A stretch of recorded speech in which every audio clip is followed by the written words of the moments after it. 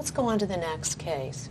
EMS arrives with a 42-year-old morbidly obese female who called for a chief complaint of shortness of breath. The paramedics found her sitting upright, working hard at breathing, with a respiratory rate of 48 and a room air saturation of 84%. They are unable to obtain any further history. So what do you think of this scenario? I think she's in acute respiratory distress. She's going to need to be tubed. So what level would you make her?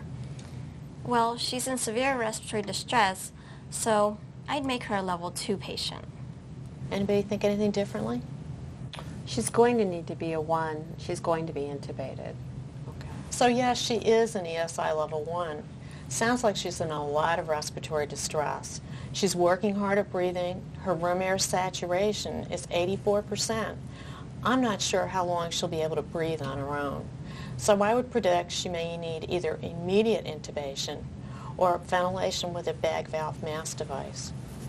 So her saturation is less than 90%, her respiratory rate is greater than 24, and she's very short of breath.